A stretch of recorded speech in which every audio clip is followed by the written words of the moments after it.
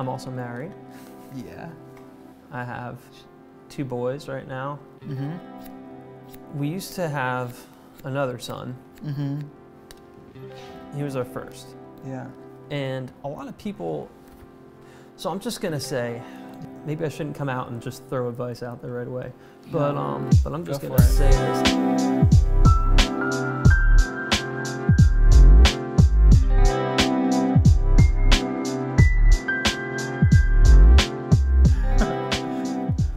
How's it going, Tim? It's going. yeah. So here we are. yeah. Um, Tim is someone who I know. I met through the barbershop, uh, as usual, but um, I've known him from different. He's a guitarist at the church that uh, is local here, the Bridge Church. Um, but he's also just a really awesome person that I've found to be super tender, but also super um, passionate about what you what you're what you're doing, right? well, thanks, Matt. Yeah. And uh, last time we, we saw each other was at a wedding, so that was super Yeah, fun. Of uh, some friends we have that are mutual that Yeah, totally different walks of life. Totally didn't know that Yeah. you knew him. That's so funny. Um, If I'm allowed to say his name, I'm Yeah, yeah, Sorry. for Parker. Yeah. Parker. Yeah. yeah, yeah. shout that, him out. That was so cool. So Tim, um, with uh, with your haircut, what are we doing today? Um, I was thinking more or less the shorter version of this. Obviously, Yeah. I've got this receding goodness, right? Gotcha. But um, but over here, I, I usually like to keep it on one side for the most part. Uh huh. So, um, and obviously the back of my head grows a lot faster than the front. I know Mhm. a lot of people that's the case. Yeah, yeah. Um, yeah. So you like to keep it still. We're gonna probably mostly do scissor work. We're not going close enough to use trimmers anywhere on the hair, Yeah, for sure. that's Uh, fine. Yeah, and then so we'll just kind of take a little bit uh, out of the, the weight out of the back here. Definitely. Um, do you want it the ears cut out, or just that you can push it behind your ears? Oh, Well, you usually wear it front though, Um, right? I mean, I would love to have to keep long hair, but where I'm working, Yeah. the, the theme seems to be clean cut. So, Okay. so let's So long let's do scissor cut. work, but yeah, not yeah, sort of. Yeah, find, Okay. find a balance. Yeah. Surprise me. Sounds good. don't- yeah. So Tim, um, a lot of people that uh, are from your church and that and people in the community might know your story, um, but give us a little bit of background of who you are as a person, and then uh, give us just a little bit about that that story that's kind of shaped um, and transformed your life in, in some ways. Well, I'm Tim. I'm a person, Nice. not a celebrity. yeah. Um, so, but anyway, thank you again for having me on that. Oh, for sure. Um, yeah. So I don't know. I've I've been into a lot of things over the years, hobbies or whatever, Mm-hmm. and um, obviously I like music a lot. Mhm. Um, kind of grew up with a few brothers, I would call them, and Mhm. uh, headbanging, playing some metal music Nice. um, with, but not just for the sake of just playing music. Obviously, that that kind of brought us together, but um, just the uh, we wanted to make music with a little more depth, and that kind of a thing has always been kind of my theme in life. okay. Um, Just being a person that is uh, intentional and um, deep in your yeah, yeah. yeah, we're not. Yeah, it, it just irks me. Sorry. Go for So it. We're getting too real. Let's hear It it. just irks me. The pop music with the yeah, yeah, yeah, whoa, whoa, whoa, blah, blah, blah. Like, just come out and have some meaning, some depth. some emotion. Talk about something in your life more than just, you know, the bar Yeah, or the, yeah, I, yeah, whatever, yeah, or the, the club. yeah, but anyway. yeah. Um, and I'm also married. yeah. I have two boys right now Mm-hmm. and my wife. That's awesome. I'm not talking about her like she's one of the kids, but I'm probably more of a kid than then your kids. yeah. sometimes, definitely. Um, so we used to have another son. Mm-hmm. He was our first, Yeah. And a lot of people. So I'm just gonna say, Yeah. my maybe I shouldn't come out and just throw advice out there right away, but um, but I'm just gonna say this. Um, think twice before you just jump into getting married, people, because one, I can say that maybe like maybe 30 to 40 percent of all the couples that that were in our friends group that we attended weddings hmm or were a part of, like, just broken up now. Yeah. and it, it it breaks my heart you know count up the cost of what you're about to do think Mhm. about it calculate it because when you say for better or worse hmm worse happens Yeah, man. um, it did for us and Yeah. we had a few we had like i think two three simple years of life Mm-hmm. um, when we got married my Yeah. wife and i were married for oh, hold on 2012 so, so 11 years yeah Uh huh. um, 11 years now. And it would have been fine and simple if we would have just chose not to try to have children. Mm-hmm. But once we began that, I would say you're opening the possibility of pain and troubles. Um, definitely more so for the wife, even if everything all does go perfectly well and you have perfectly healthy, happy kids. Mm-hmm. Um, but we started off trying to have kids. Uh, I think about three years into our marriage, and Mhm.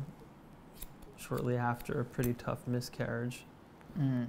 And then, so we made up our minds. Our next child, we would just love on that child Yeah. so much Mm-hmm. and just pour everything into that kid.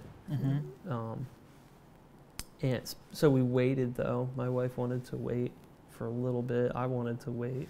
Mm-hmm. It just seemed yeah. like there would need to be a little time of recovery. So I think it was about a year of just Mhm. kind of waiting and, and recovering. There's a whole lot of emotions when you announce that you're having a child to your family, Uh huh. and and then when that gets ripped away from you, it's like, what in the world? But when we did get around to trying again, our our son was born. Um, Mhm. His name was Cullen Miles Dwyer, Mm-hmm. and he was so precious to us. He was beautiful, Mm-hmm. and he lived. So, yeah, we had we had him for nearly two years before we suddenly lost him. Mm.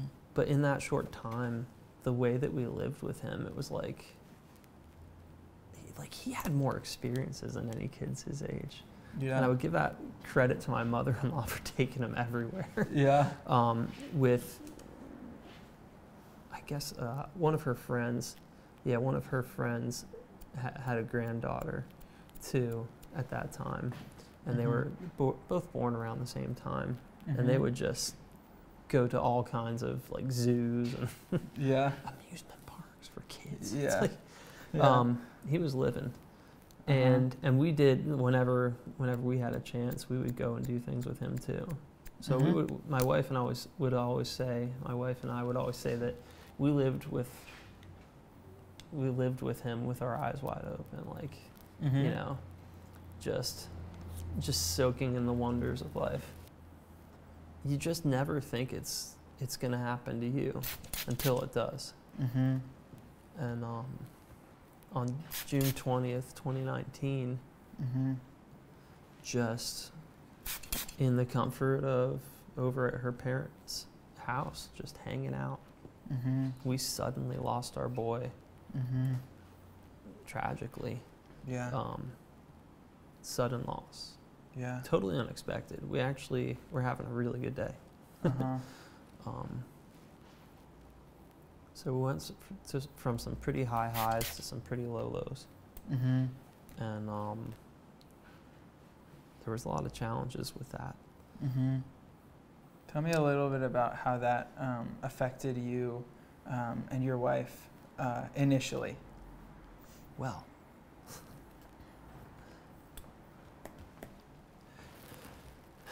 how how vulnerable can I get? No, that's okay. My wife and I are Christians, full disclosure. Mm-hmm. Um, that's our faith. mm-hmm. Um, we believe in a life that goes on beyond Mhm. this one, yeah.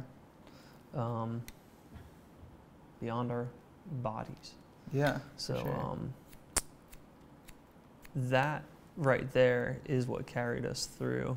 Um, but it wasn't easy. It's so.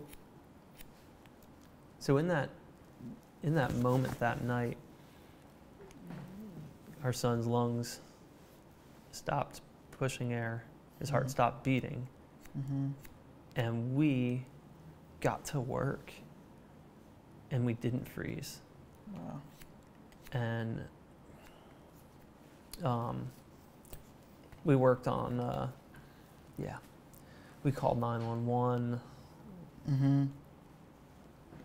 So our counselor encouraged us that he said not everyone does that you guys Mhm. were strong in that because Mhm. it's there's a lot there's three things that like he even taught us there's there's three major things that are going to come with this there's going to be the intense sadness Mm-hmm. there's going to be there's going to be the guilt and shame and then there's going to be the trauma Yeah. and yeah so so we went to a counselor too i know like, Mhm. not everyone loves doing that Yeah. it's you know usually when someone tells you you need counseling the last thing you want to do is go to counseling yeah, for sure. so no one told us that but Uh-huh. that night we just were we just kept looking what's next Yeah. how do we do this Mhm. What are the steps? Uh, It's it's like there is no book. There's no handbook for grief and sudden loss. For sure. But um, um, I'm sure it's not something that is easy to for people to even talk about, yeah. especially in the beginning processes of it. So we spent so much time just facing it head on and Mhm. talking about it that it just became normal. Um, Yeah. yet it, no, it was not easy. Um, it- Mhm. actually, nothing was easy. Um, Yeah. Just life, uh, existing. We, you know, Yeah. getting up out of bed, sleeping, um, showering, uh, even Uh-huh. the basics, feeding Yeah. yourself. Mm-hmm. But um, in that moment, like I just remember our pastor was speaking that week, or, recently had been speaking about um, some something stuck in our heads, and in that moment, it came to us because when we got in the car and it was time to ch- like follow that ambulance to the hospital. I mean, uh, just it's what you know in extreme situations like that Yeah. you don't know how you're going to react. For sure. um, yeah. My wife ended up saying a, a cuss word. And i just remember looking at her and i'm like no. It like i just remember looking at her and saying no praise god.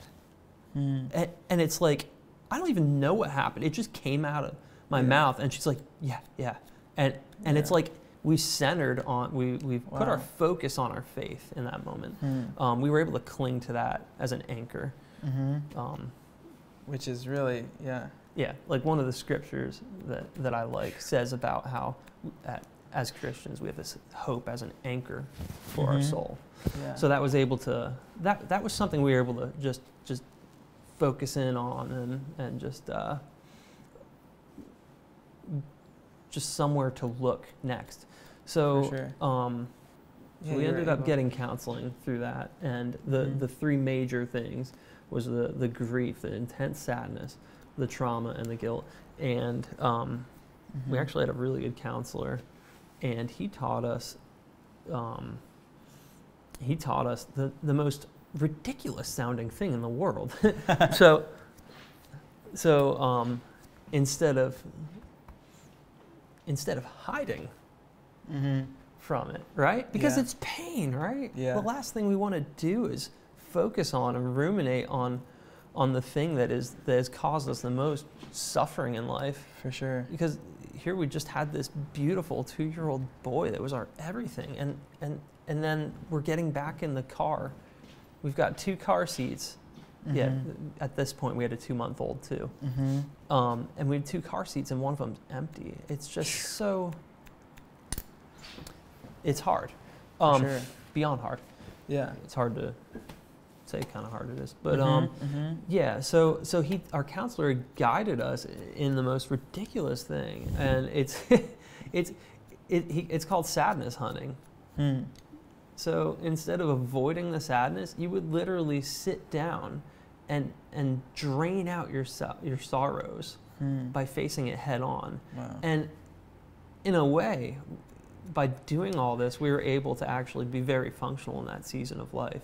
Wow. Um, so basically, it's called cognitive sadness hunting, and you would you would take a picture or or video or or an item of his. It, you needed to literally ex- create a list and and and write every single one of those things down. And we grieved and we grieved and we grieved intentionally and on purpose Mm. because because this this was based off of also another scripture that that talks about how our God has turned our mourning into dancing.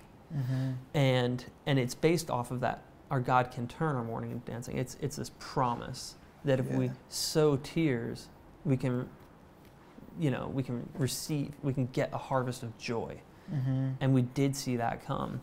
But there was rules about the sadness hunting Mhm. you weren't supposed to simply just go about blubbering all day long, Mhm. right? Because we want to actually be functional humans again. We actually want to live.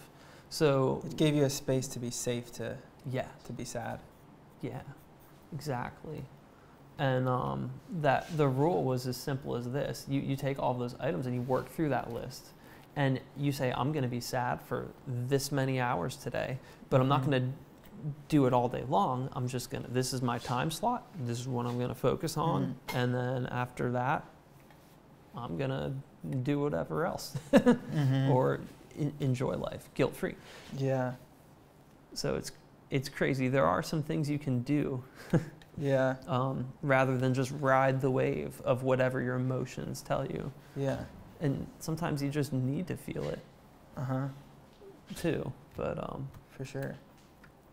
Yeah, and then um, the the other thing was the uh, the so the guilt and the shame.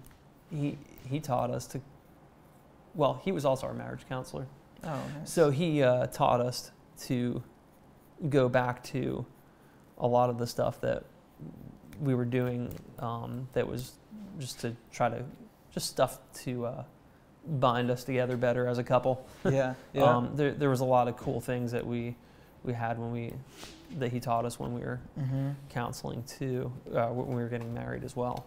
And Mhm. um, he said the way you're gonna conquer that guilt and shame is by coming close together, Mhm. you know, and pouring into your marriage, just uh, Mhm. investing in that marriage. Yeah. Um, the and the trauma, which is when you're just living life and something just triggers you and mm-hmm. and it just reminds you, boom, a scene. Like what our brains actually do is record certain events of your life, Mm-hmm. and anyone listening can probably come up with one right now. They can Mhm. think of an event in their life that is just seared in their mind, and they can replay it second for second. Yeah. That's called a trauma scene. Mhm. It's it's there. Now, there's also good ones, Mhm. and there, there's good, good. Uh, our brain turns on a recorder when something is important. It says, "Hey, hold on, this is yeah. this is important stuff." So, but the thing is, with the trauma, it's so painful that it gets thrown to the back and just Mhm. hidden deep in there, Huh. and then it starts leading you. And the whole goal behind this is that you lead the trauma, and he would challenge us. He basically um, what we would do is work through each scene, write down all Mhm. those scenes, and we work through all those from that night when we lost him. There was Mhm. there's various. There's a lot, you know. It's like a whole movie. Yeah. Um, but we would break it up into chapters, oh wow. and we would focus on each one of those. And he would call it championing. Um, Uh-huh. You would you would look at the scene as if you were the viewer. You would look at the scene as if you are the the person like Tim in the Mhm. scene, Mhm. and you would make a you would make a promise Hmm. to as as the viewer to Mhm. Tim, and it about um, about that particular scene, Mm. and you would state actual truth. Speak, Yeah. just speak truth Yeah.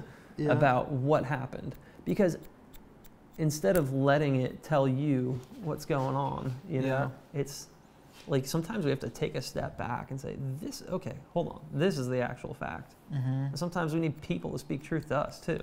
So, Yeah. so No, that was awesome. that. So having that therapist was huge Yeah. for for a lot of that healing. Um, so starting with your faith in that was. moment, in the uh, that faith in the moment of the ambulance drive, and Yeah. then choosing that faith, but then also choosing to um, focus on on healing Mhm. and finding finding help when you couldn't help yourselves, right? yeah. And I think that's that's a really important thing because a lot of people, as you know, uh, pull back in those times of trauma and the That times of natural too. yeah, and know. the you guys staying together and being a healthy marriage is the outlier. Though that's the thing. That night, I, I remember um, there's a, a lot of people, our friends and family, and quite a few people from our church. As soon as they heard news of that, a lot of them, you know, our pastors and stuff, dropped everything, came over to just uh, like, how can we help? Mm-hmm. even there. And um, so we came back to the house that night, and like even before we left the hospital, though, people were saying, "What can we do?" And we're like, "Pray for our marriage." Yeah. we don't want to be another statistic because we. I don't know. I think somewhere I heard it before that like statistically, every time like a lot of you know a lot of it's it's a pretty high number Yeah. for Yeah. for couples that get divorced post Mhm. uh, tragic loss of a child. Yeah. For sure. Um, just can't take that Mm-hmm. anymore. So we're both of us were like, no, Mhm. not here, not no, doesn't end this way. Uh-uh. Um. So. So that was one thing. Mhm. By the grace of God, in that moment, we're just say, yeah, Yeah. this marriage, like us, this comes first. Yeah. Still.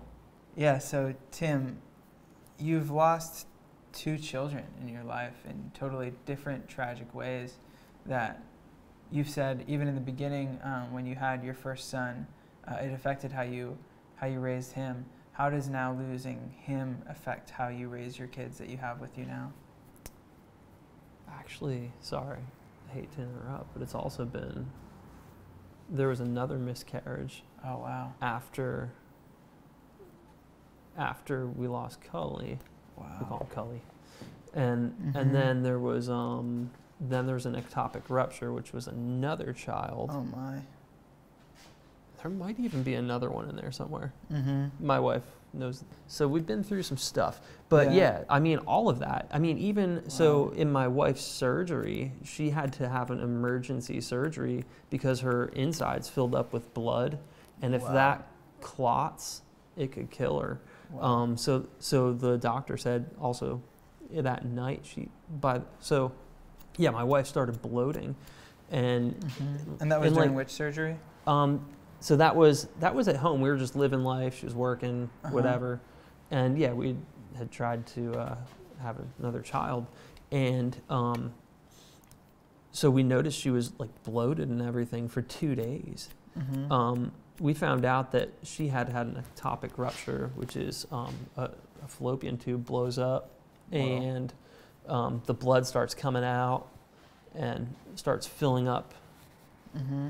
in your cavity there and and um so so then she went to her OB and the doctor ended up rushing we ended up going to the hospital she ended up rushing her into surgery in the end she said it's a miracle that you're alive. She said it actually I, I don't see this happen where she said what happened was it actually cauterized itself on the inside What? and and stopped. And she said I it, it if it would have kept bleeding you would have kept you would have bled out on the inside uh-huh. basically Wow. and she said this is how young healthy women die so she said I would call this a miracle Um, Wow. So we're thankful for that. So yeah, even all of that, like everything Yeah. that we've been going going through, and and our to Yeah. continue, our our newest son Dylan uh, was in the hospital for RSV two week uh, 2 months Mhm. after he was born, which gave him a condition Mhm. where he ends up going to the hospital a lot. It's just been it's been trying Mhm. because going back to the hospital a lot kind of brings up some of that Oh, for sure. stuff. But um, yeah. So it all of this, all of Mhm. this, causes us and me to uh, to n- not necessarily just live for the moment in some reckless, careless, cheap thrills kind of way, but to just invest in every moment with my Yeah. children, to Uh-huh. just soak that up and to think about. Um, I don't know. I just I just want to be the best I can for them and uh, give them the best childhood. Uh huh. And yeah, also our son, our, our oldest son currently right now, Yeah. Declan. Uh, recently, uh, we found out. We kind of could tell this, but we he's been officially diagnosed with Asperger's, so he has autism too. So that, there's also more challenges. So we Mhm. got a lot going on. Yeah, it's really fun sure. in our house Yeah. Between sickness and um, and uh, overstimulation, Yeah. challenges of Uh huh. de-escalating a, Yeah. a poor boy. Uh huh. yeah, it's sensory overloaded. But um, Mhm. yeah, it just causes us to just more tenderly, just be patient and loving on them Mhm. because we know that we know that there is no guarantee that I'm gonna we're gonna see each other, any Mhm. of us, Yeah. tomorrow. So. Mhm. Um, and, Yeah. and it's crazy. Sometimes you can live life and forget about the frailty of it. Yeah. I'm sure there's some days that it's just a, a normal day, right? Yeah, you're just some days. uh, of late, I Yeah. like. I'm just gonna say this. Like, ever since we decided, once again, ever since we decided to have children, nothing has been normal. yeah. like, I, I used to have this concept of what normal is gonna be, and there, Yeah. it just there is no normal. Just yeah. tally ho, here Uh-huh. comes the next adventure. Yeah. Um, so. Now, does that ever like? I'm sure, like for me, I would I would be this way. Uh, I don't. Does it ever come into your mind that you're like, can't we just have like a normal life? Oh, absolutely. Um, how do you kind of confront those? Like, obviously, uh, one day at a time, things like that. But uh, how do you confront those feelings of like, is will I catch a break? Well, yeah, and because the truth be told, there are people that don't get a break. There's people that have, there are parents that have special needs children that are Mhm. adults and Yeah. and they are in it for the long haul. Yeah. And and God bless them Mhm. and their hard work. Yeah. And so, but I, I know that for us, with our our situation, we Mhm. know that Dylan is going to grow out of his reactive airway disease, our youngest. Mm-hmm. Um, I mean, or at least get to a point where his body gets big enough where he won't have to go to the hospital every time he gets a common cold, Mm-hmm. Yeah. Yeah. or or worse. yeah. But yeah. um, and, and we know that, uh, and we have um, we have so much help with Declan. With Mhm. uh, he has a he has a BHT. He's got an ABA, and we have so much help. Um, Mhm. And my wife definitely is pouring into that. So I guess you know that's the stuff that we hope for in the physical that we can really see right in front of us. Yeah. That's that. There's a hope that things will get better. Yeah. Um, we keep clinging to that, but Mhm. even if that doesn't pan out for us, Mhm. there is that hope that the that as as Christians, my wife and Mhm. I have this firm belief that we will be in heaven one day and we will be restored. We will be reunited with our boy. Mhm.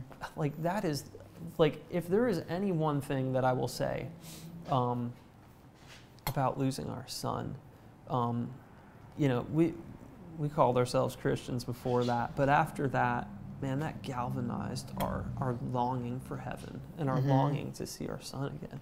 Yeah. For and sure. um, so we thought, okay, so we're just gonna live this life the best way we can, the most intentional Mhm. um, and do our best to just treat people treat people with love because you never Yeah. know if they're on their worst day or Yeah. worst month or years yeah. of their life coming down from a, a loss. You don't know if their dad just died. You don't know if Uh-huh. you know you don't know if they've just been diagnosed with cancer.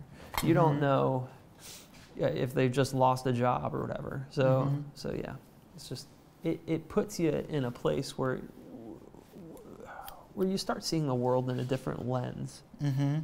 And um, Yeah. yeah, So one thing I'm hearing you say is that just through through your loss and through your grief that you've actually been able to see the grief of others and have more compassion for them in those moments where you're kind of feeling at your worst. Yeah.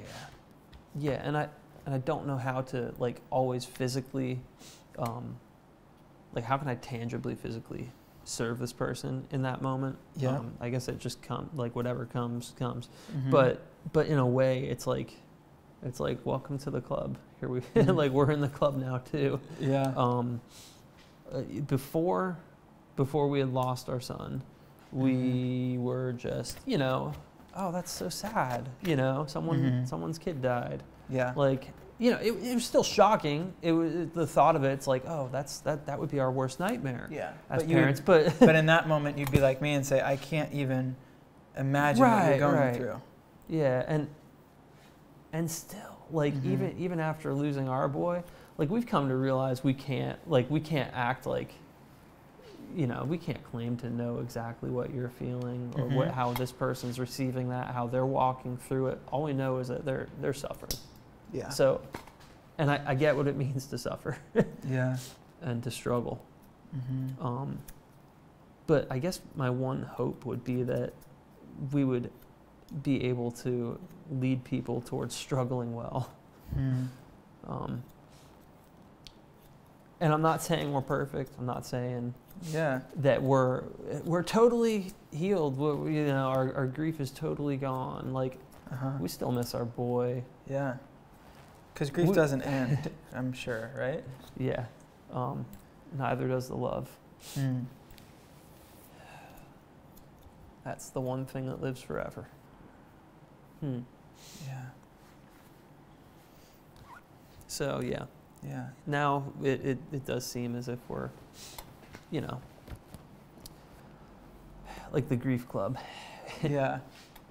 It's uh, it's not something you want to be in, but before we had lived through events, such events, and, and you know, obviously the most prominent one when Mhm. we heard about things, yeah, it was just, yeah, it's a little shaking.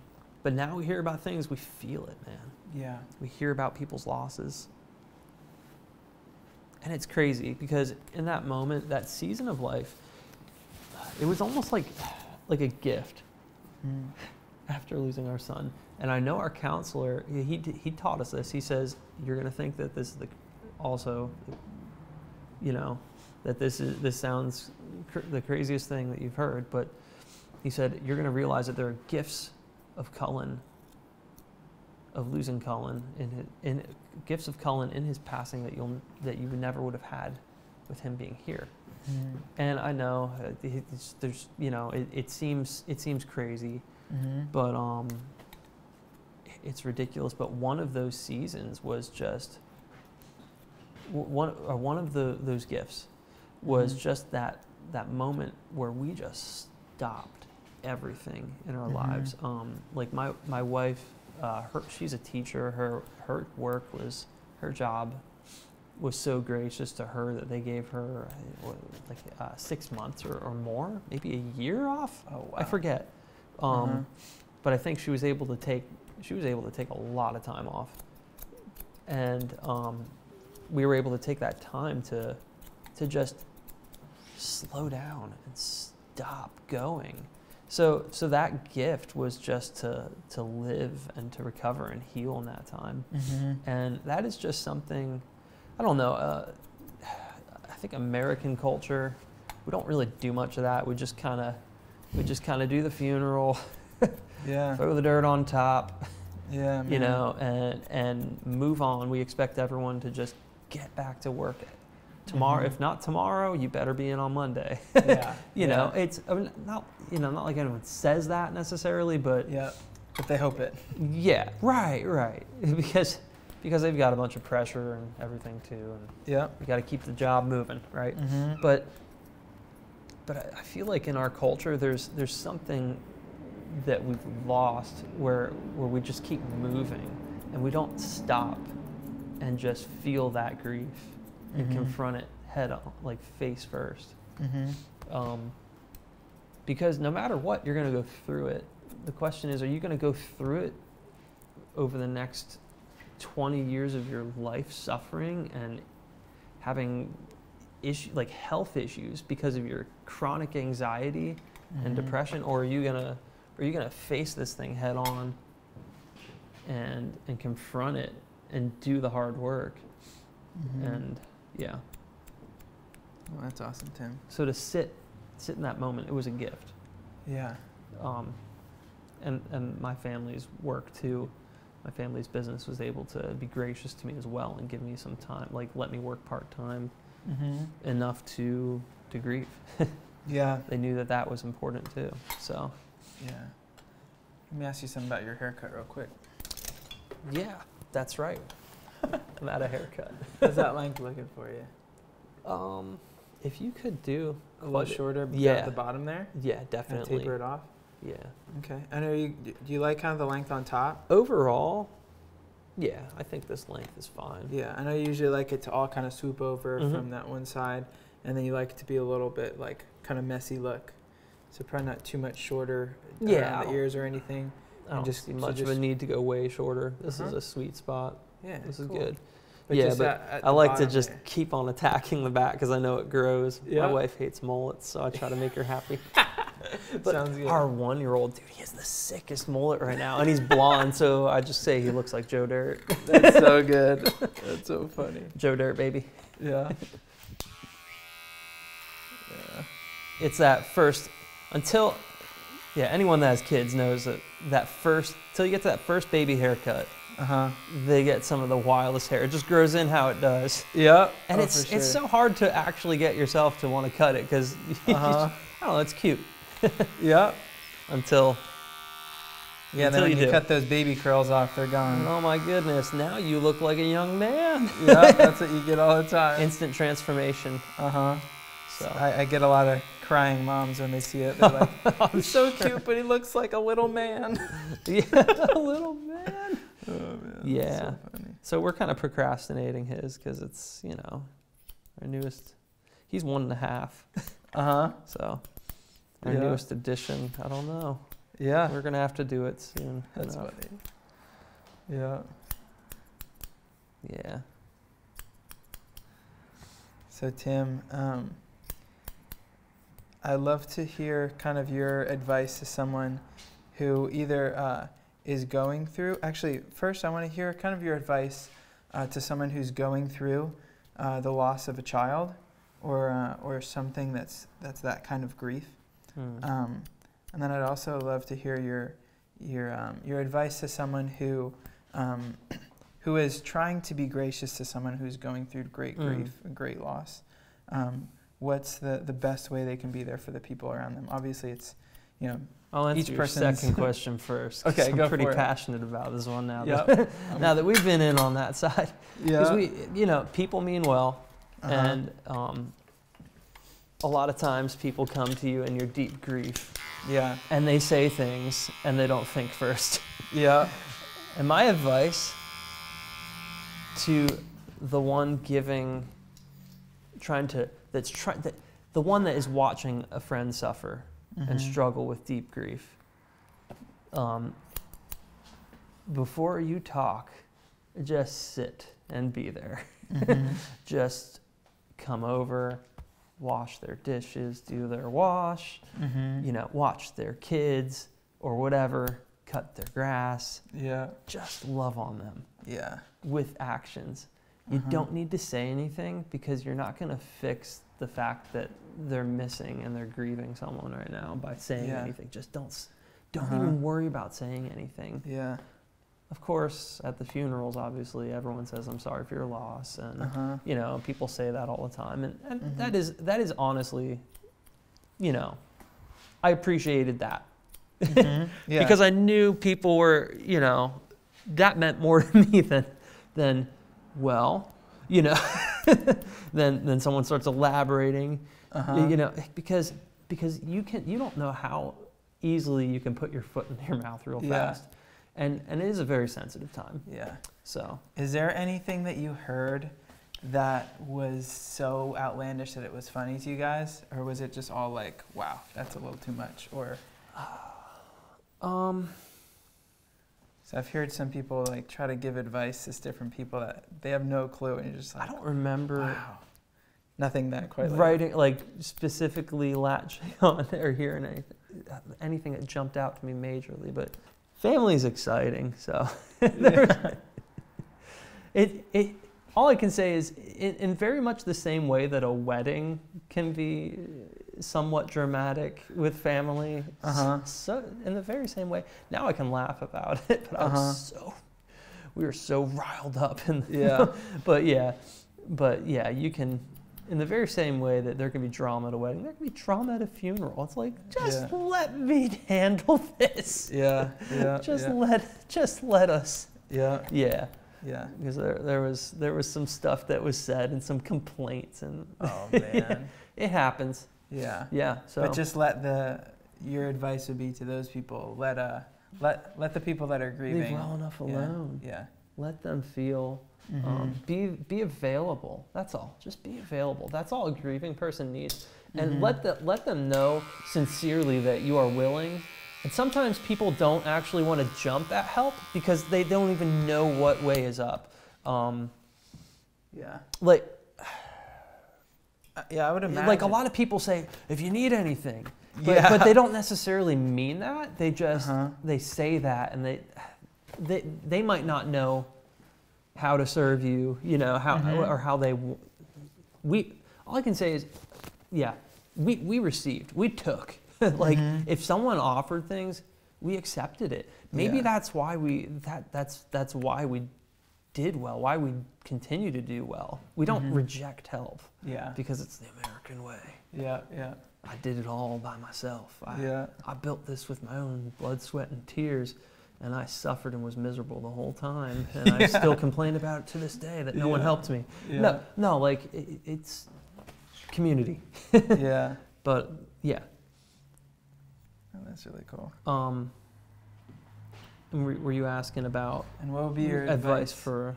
yeah for someone who's going through something similar to what you've gone through?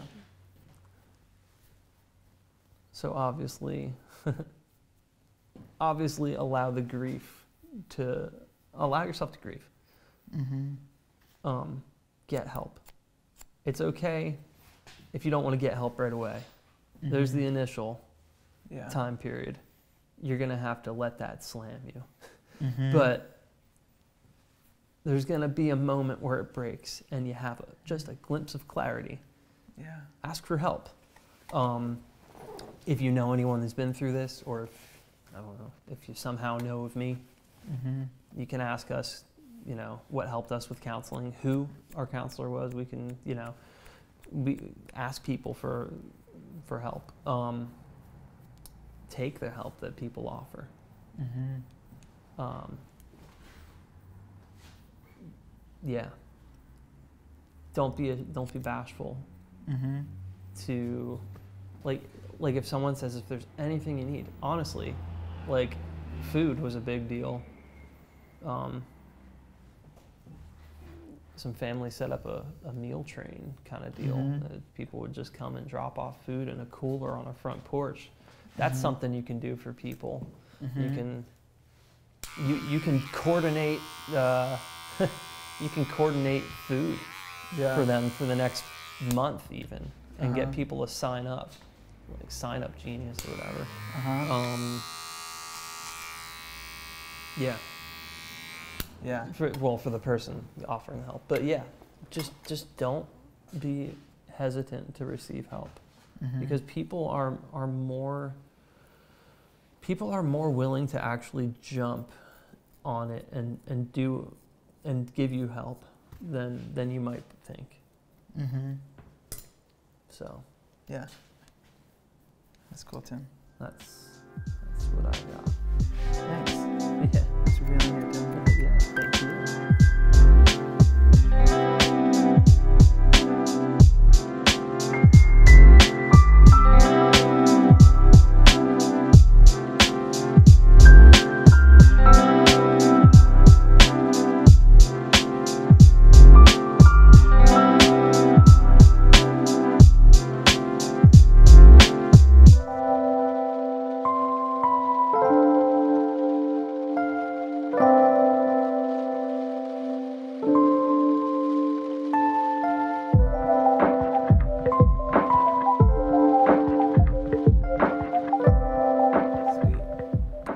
How's the beard looking? It's looking clean. it's looking clean. Yeah. I'm gonna put a little product in your hair to show you uh, just something you could use if you wanted it to be a little bit more messy, but not too. Uh, Is that Northern Light? it is Northern Lights. Is that what you use? That's my stuff. Sweet. Perfect. Thank you. yeah. Yeah, I actually use that a lot. Yeah. Um, That's I'm actually halfway through the can. I never thought I'd actually get there, but Yeah. It's funny how how like it just lasts forever.